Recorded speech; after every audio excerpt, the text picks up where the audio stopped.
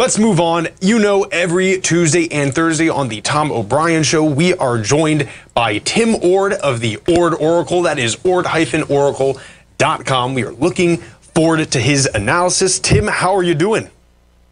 Good, good. Thanks for having me on again. Absolutely. So, uh, let's, let's, let's take a look at uh, the S and P's. You know, the market's kind of corrected here since uh, what middle of July, or whatever. Markets pulled back, but I want to look at the bigger picture. This chart, chart number one, is the, uh, the bottom chart is the daily uh, SPY, and the top chart is the RSI 14 on the daily period. And all I want to point out on this, I marked times when the RSI was above 80 on a on a daily, which uh, you can go back as far as you want, but every time it got above 80 and actually below 90, somewhere between 80 and 90, when the RSI got plus 80 but below 90, it was never the final high. That what RSI kind of measures momentum of the market. When it gets up around, when it gets 80, as as usually the market does pause, but it's never the last high. Uh, so this chart goes back to, to mid 2016 and I got two uh, squares on the SPY chart, and one of those squares is probably going to be pretty identical what's going on in the market right now. Uh, the market's flipped sideways since about mid-July. Uh, looks like to me we haven't found a low yet. Uh, we'll we'll discuss that as time goes forward. But this sideways consolidation, my opinion, could last another month or two, possibly even October. But uh, August here starts uh, what Wednesday to, uh, uh, starts Thursday, and probably August is going to be a down month. I think September could be an up month, but October is probably going to be a down month. So we're going to see a lot of chop, and this choppiness may look like uh, the square in 2000. Uh, 20, 2020 or that little square in 2017. I don't know which one it's going to be. Depends how deep we go here on this correction. Uh, but again, the bigger trend's up. We'll see new highs before the year end, but the new highs will probably come after October. But uh, we do have a timeout and an uptrend right now, but the bigger trend remains bullish. So let's flip to uh, kind of chart two. Absolutely. All right, chart two. Uh, the top window is the uh, this is a weekly chart. But the top window is the weekly National Association of Active Investment Managers Exposure Index, and what this chart does is exposes what these what the National Association of Active Investors are doing. When it gets up, up above 100 percent, in other words, 100 percent of their funds are along the market. Uh, the funds on July 1st got to 103.63 percent. In other words, they're on margin almost four percent. So the 100 percent plus four percent margin, and so every time that has happened, uh, I got some uh, red lines in there and and actually kind of shaded pink areas times when that happened. Well, again, this happened on July 1st. That was kind of a warning that we're probably going to stall the rally, which it did. And so, what what do we expect now next? Well, I got kind of a pink circles on that chart, which is the top window. And those, what I'm trying to say is, once you get above 100% long in the market, then the market pulls back. What's the minimum you would expect? Previous times, going back to uh, this chart goes back to 2021, about mid 2021, but at least gets back to 60% long uh, for them. Uh, so what I'm saying is the current long exposure for this group right now is approximately about 75%. They need to get down to 60% or below or below before a bottom starts to form. So what this chart says, we haven't we haven't had enough damage in the market. I gotta put it that way. Uh, sentiment's not right for a low here yet because these invest the active investment managers are still too bullish. They're up around 75 percent they need to get down 60% or, or, or below to get the sentiment right for the next rally to begin. How long will that take? I don't know.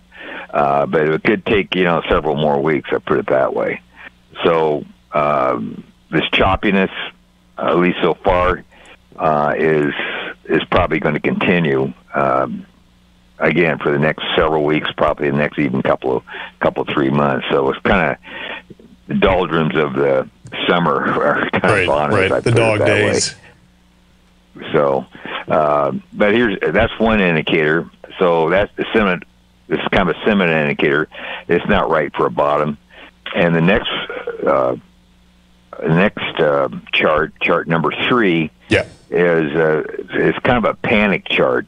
This is uh, is sort of a sentiment, I guess you might say. Also, but I do a lot of stuff with the TRIN, and I do a lot of stuff with the ticks. But TRIN seems to work better. I, I even have a used to have a combination tick TRIN ratio, uh, but stock charts don't really uh, publish the, the ticks anymore, so I don't use that chart. But it would it was helpful. But anyhow, the the top window is a ten day TRIN of um, well, it's a ten day TRIN, and normally readings above 1.2 show panic in the market.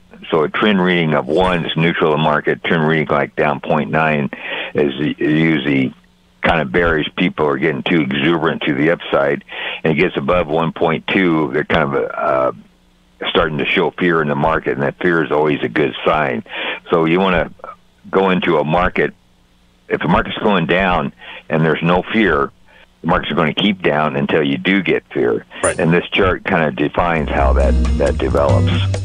Yeah, perfect. Yeah, hear Tim, the music. Yeah, stay right So- there, folks. We'll be right back with Tim Ord of the Ord Oracle. Welcome back, folks. This is Jacob Shoup filling in for Tom O'Brien. Uh, we have Tim Ord on the line. You know, you hear a lot uh, when Tim Ord says this doesn't look like a bottom, this doesn't look like a top. If you ever want to like learn more about what he's saying when he says that, because it's it's really good stuff. I'd recommend going over to tfnn.com. You can go down to the services page right here. Scroll down a little bit, and we have two really stellar webinars from Tim Ord, The Secret Science of Market Tops, and then six ratios every trader should know. Uh, and that again is hosted by Tim Ord. Really recommend checking that out. Tim, before we went to break, we were looking at the uh, Stock Exchange ARMS Index.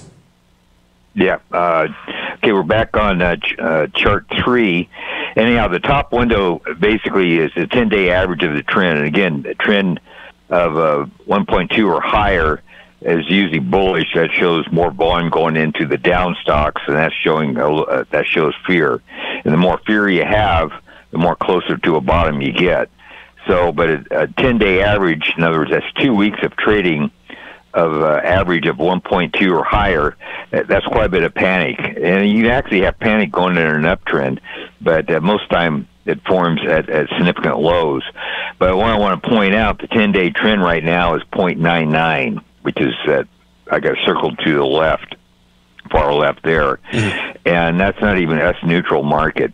So you know, th- this is no sign of a panic at all so far in the market. So it'll it'll get panic, and uh, traders will feel it, and they'll show up in this TRIN reading. But right now, uh, you know, it's there's no sign of a worthwhile bottom for me here. Matter of fact, even on the two day two day TRIN, which is the bottom window. It also comes in right at neutral, 1.101. So even on a two day, there's no trend or there's no panic. So no sign of a worthwhile bottom for me here. Not saying the market's going to be up tomorrow or down tomorrow, but um, uh, it's not giving any major sign. I guess if you're a trader, uh, you know you might take a shot. But anyhow, let's let's look at the real short-term picture. Let's go Yeah. to chart four. So the bigger trend, or uh, we hit a high in, in uh, mid-July. That high is still enforced to the downside. So in general, we expect the market to move forward or move down uh, to some point where we're going to have panic on the 10-day TRIN is going to get up around 1.2. Wherever that area is, that's when I'm going to start looking for a bottom. I don't know what time that's going to be, uh, but the time will be when that TRIN gets above 1.2 on a 10-day average. But on a short-term basis here, uh, this is uh, just a daily SPY, and there's gaps all over the place. You know, we gapped down from the July high. I got a little gap there on the chart. Then we had another gap last week, and we had one. We had an actually up gap on Friday, and now we're coming back down and testing that gap today. Uh, so depends how a gap is tested, but that gap's going to be support. And I got some dotted blue lines on that chart. Shows you last Friday's gap up. I got a little gap sign printed in there. And now we're going into that gap today. So this gap will be support if it's 10% lighter volume or greater. And I don't have uh, the volume on last Friday, but we got, you know, about 10 minutes ago in the market. And it looks like that gap's going to be tested on lighter volume. So probably but the day's not over yet. A lot of times, volume really comes in right on the close, and the SPY uh, trades till about a quarter, uh, does trade it until about a quarter after four uh, Eastern time. So you got we got about uh, well 15 plus 10. You have about 25 more minutes of trading on the SPY. So we may reach the volume we had last Friday. If it comes in equal then that gap will not hold support and it'll, still, it'll move lower. But if the gap comes in, say, 100 million shares were traded last Friday, would come in 90 million. That the chances are that gap's going to hold, and we're going to try to bounce. Where well, we're going to bounce to. Well, there's a gap uh, down last Wednesday, and we may test that upper gap. So we may rally back there. Uh, so it's just kind of a mush market. I think we'll probably find support at last Friday's gap it's a little bit too soon to say, but just looking at the volume, I don't think we'll reach last Friday's volume. And the market may take a, a run for the gap of last Wednesday. And last Wednesday's, if you look at that volume, it was pretty high. So I doubt we'll get through that last Wednesday's up, uh, last Wednesday's down gap, and that gap will probably be resistance, and we'll go back down again. Uh, so it's kind of a gobbledygook market. Mm-hmm. And this is probably going to last for several more weeks of just back and forth, back and forth. So, if you know the short-term rules of gaps, uh, you'll, you'll probably do fine. If you don't, you get chewed up in this market. But it's kind of a gobbledygook market. Um, but anyhow, it looks like today we'll probably find support at gap, at gap. But the only rally worthwhile is probably back up to 550, which will probably be resistance and we'll test that gap probably on 10% of lighter volume and send the market back down again. So the next decline, maybe uh, first part of August or mid-August, we may start lining up for a buy signal. If we back, if we go back down to the bottom of that blue area, which is uh, maybe 530 area on the SPYs. So uh, too soon to say yet, but we're staying on the sidelines personally. So it's it's just too much noise here in the market. we got time to cover the gold market. Absolutely, we do. Yeah, we have about two minutes, two and a half minutes till the break, and then obviously, if we don't have enough time uh, right now in this segment, please stay for the last one because I, I know a lot of the viewers here love hearing your input on the metals. I'm pulling up chart five right now. That is the GDX ADP. All right, yeah. This chart, this, this is a monthly chart, and it's kind of a repeat. But the only thing I want to show you, this chart, actually, the weekly, uh, the bottom window is a cumulative up-down volume. Next higher window is a cumulative advanced decline. Top window is GDX. This is a monthly chart. The monthly chart gave a long-term buy signal. This is a multi, well, actually, previous signals of this type lasted a year and a half, if not longer. So we got we got uh, triggered on May 31st of uh, this year. So we got a year and a half to go minimum uh, for the monthly charts uh, to run its course, and it may actually go longer. The weekly charts, same type of chart, but on a weekly time frame, gave a a buy signal on March 18th, and that the weeklies are on buy, the monthlies are on a buy. But if you notice uh, the far right window there, uh, both these uh, two bottom indicators are gaining ground. They're making higher highs, and actually uh, uh, compared to what it was a month ago. So internally, the market is actually getting stronger. Uh, so that's so this probably trend on the monthly charts of both these indicators, the up down volume and advanced decline indicators, probably over the next one and a half years are probably in general be rising every month uh, similar to what happened back in 2019 and similar to have, what happened back in 2016, which is the light green area. Mm-hmm. Uh, so I guess if you get long here, just, you know, if you're looking at the longer term, you can actually stay long uh, we can flip to. Yeah, we're we're, we're going to run out of time here. No, that's fine. Um, we just go into the next segment for sure. You know, and there's been a lot of right. like kind of sideways movement, at least with gold. I mean, today you're up 1.12%, which is pretty nice. Uh, but it'd be nice to see us kind of take off a little bit. But I hear what you're saying, just kind of hanging in there uh, if you're already in. Well, well, Tim, stay right there. We're going to go to a short commercial break and then have a nice little segment. We can wrap up the last chart. All right, folks, stay right there. We'll be right back with Tim Ord. Welcome back, folks. This is Jacob Shoup, filling in for Tom O'Brien. We are joined by Tim Ord of the Ord Oracle. We have a short segment here, Tim, looking at that HUI uh, to gold, the bugs index. Right, that's the middle chart. Uh, this is uh, the weekly chart, and I have a blue trend line coming from the 2000, uh, 2008 high all the way down to the current time frame. And I got a little circled in red uh, there. We did break above that trend line.